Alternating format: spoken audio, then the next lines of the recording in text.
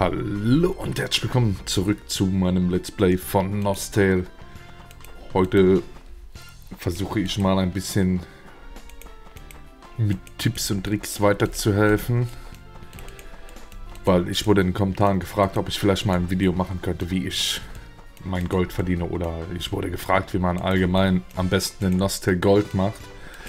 So, da kann ich so allgemein keine Antwort drauf geben. Ich kann aber zeigen, wie ich mein Gold mache. So, vielleicht hilft es dem einen oder anderen dann auch.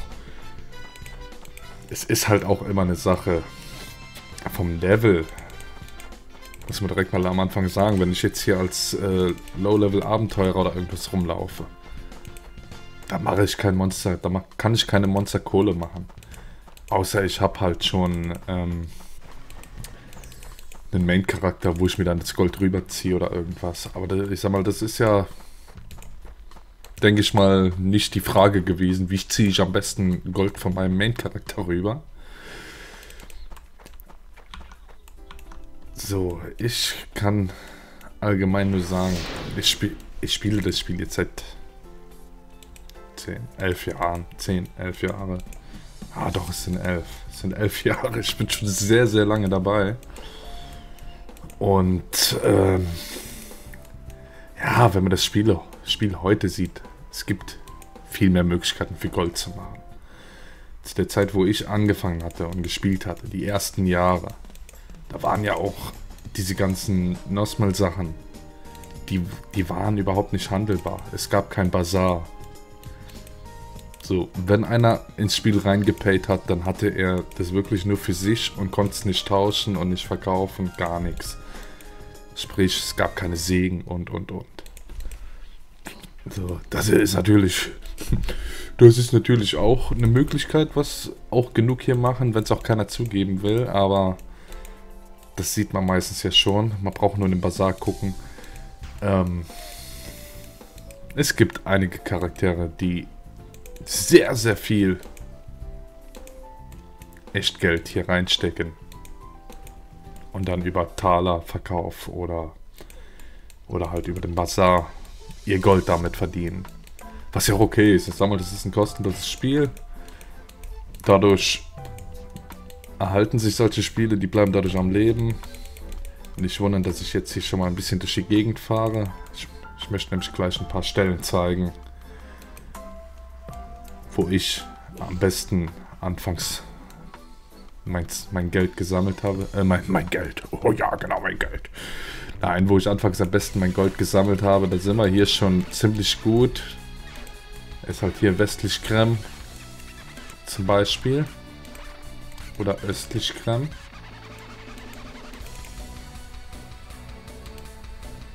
Ich habe es eigentlich überwiegend in östlich Krem gemacht. Ich habe auch bis Level 85 fast nur dort gelevelt, weil ich nie Lust auf LDT hatte. Das, das war mir zu langweilig, das war mir zu dumm. Und das konnte ich halt hier kombinieren. So ab, ja, ab Level 60 würde ich mal sagen. Kommt man hier super, super klar. So, ich habe hier, ich bin auf und ab gelaufen, weil hier sind Engelsfedern sind extrem getroppt und Engelsfedern ist allgemein. Die verlieren nicht an Wert.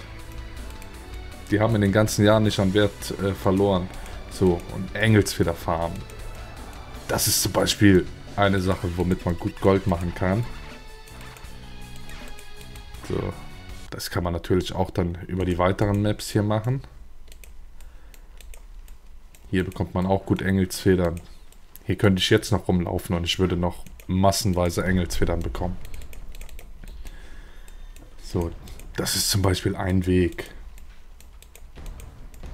für Gold zu machen. Ich sag mal, es ist allgemein wenn man in den Bazar guckt und jetzt irgendwas, eine super Waffe oder super Rüstung, irgendwas gesehen hat. Ich sag mal, die Preise, die sind schon krass. Muss man schon sagen. Dafür gehe ich, ich persönlich auch hin. Ich habe noch nie irgendwie eine Waffe gekauft oder sowas. Ich habe das immer alles selber gebaut, selber gewettet, selber geplust. Weil ich damit allgemein auch günstiger gefahren bin. Weil ich halt auch keine Kohle hier reinstecken will. Ich möchte kein Geld reinstecken. Und es geht auch ohne. Es geht gut ohne. So.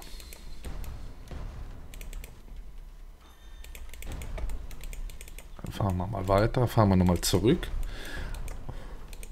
Und dann kommt natürlich ab, ab Level 90 kann ich halt auch nur empfehlen.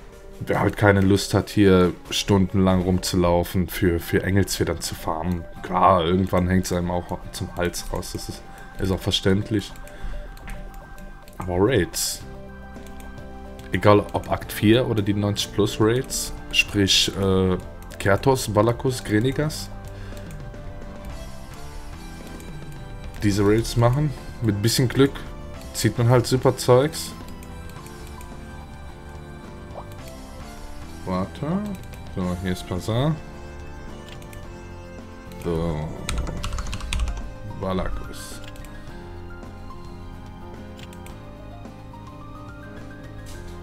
So. Valakus Handschuhe. Nur mal als Beispiel.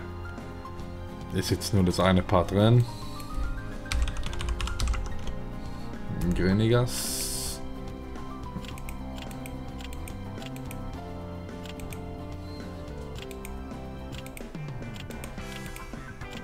Schauen wir mal weiter. Okay, sind natürlich keine Stiefel drin. Gibt auch noch Kreni-Stiefel. Das ist alles so ein Zeug. Das ist massig an Gold wert. So, die Akt 4 Raids. So, wenn man da Ra7 zieht. So, mit ein bisschen Glück hat man eine, eine PvP-Muschel drin, die, die 1 KKK wert ist. So, da bist du von jetzt auf gleich bist du reich. Ich gehe ja... Ich bin ja jetzt im Moment... Aber was heißt jetzt im Moment? Eigentlich immer. Also, ich habe noch einen, einen Trade-Charakter. Da liegt doch mein meistes Gold drauf. Äh, ich handle nur mit Muscheln. Ich trade mit Muscheln. So, ich kaufe die günstig auf. Und verkaufe sie dann halt zu dem Preis, was sie wert sind. Weil es, es gibt halt immer noch sehr viele Spieler, die wissen, die Werte von den Muscheln wissen sie nicht einzuschätzen oder haben einfach keine Ahnung, was jetzt kein Vorwurf sein soll. Alles okay. So, aber ich, wenn ich sowas natürlich sehe, dass eine Muschel, die 500, äh, 500 Millionen wert ist, wenn ich sehe, dass die für 3 Millionen drin ist, dann kaufe ich mir die auf und verkaufe die für 500 Millionen. So, dann habe ich 400, 497 äh, Millionen Gewinn gemacht. So. Das sind halt Sachen, damit mache ich massig Kohle. Damit mache ich massig Gold. Und ansonsten ist es schon schwer. Also mir, mir persönlich fällt jetzt sonst auch nichts ein. Ah doch, mir fällt noch eine Sache ein. Es gibt auch viele, die machen äh, Solo-IC, aber dafür musst du natürlich auch schon entsprechendes Gold haben, äh, Gold-Equipment haben, damit du so ein IC auch packen tust, Solo. So. Und dann hast du natürlich auch einen Haufen, Haufen Kohle. wenn, du, wenn, wenn man jetzt den 80 Plus macht, äh, den 90 Plus, Da kommt einiges zusammen, wenn man den alleine packt und die ganzen Drops sammelt. Gibt es jetzt sonst noch was? Sonst noch irgendwas, was ich jetzt im Kopf habe?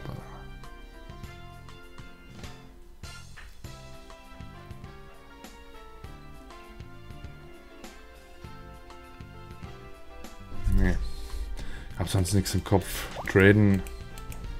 Ja, wie man sieht, steht alles voll. Die stehen meistens hier rum.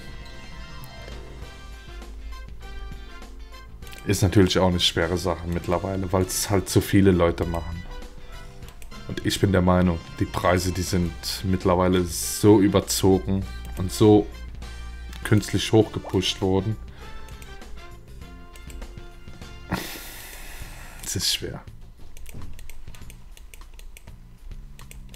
Ich, ich persönlich, ich fahre mir halt alles selber. Und plus ist auch selber. Ich habe ja hier auch schon. Ich habe im Moment ja immer noch das 92er und 93er Equipment an. Weil ich persönlich für, für mein Equipment, ich habe das hier selber gebaut. Hier das 95er Schwert selbst geabt, selbst gewettet. Genau wie die Rüstung. Aber ich habe noch keine passenden Muscheln gefunden, die mir gefallen.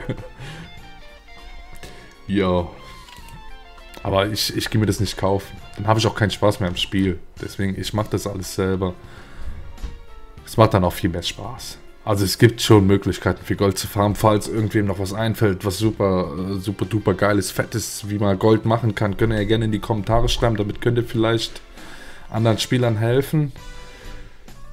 Ich habe jetzt halt mal erklärt in diesem Video, wie ich mein Gold mache. Und äh, ja, ich kann halt nicht für andere sprechen.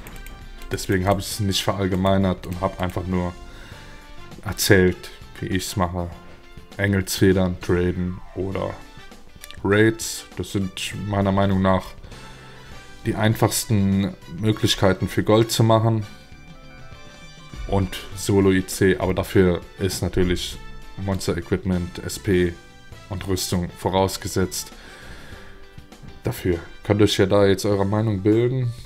Würde mich freuen, wenn ihr mir einen Daumen nach oben da lasst. Abo, wenn ihr nicht getan. Und ja, kommentiert halt gerne. Können gerne da noch ausdiskutieren oder machen, wenn Unklarheiten sind. Und natürlich auch gerne Vorschläge rein, wie man sonst noch an Gold kommt. Ich persönlich habe da kein Problem, aber wie gesagt, vielleicht könnt ihr der anderen Spielern helfen.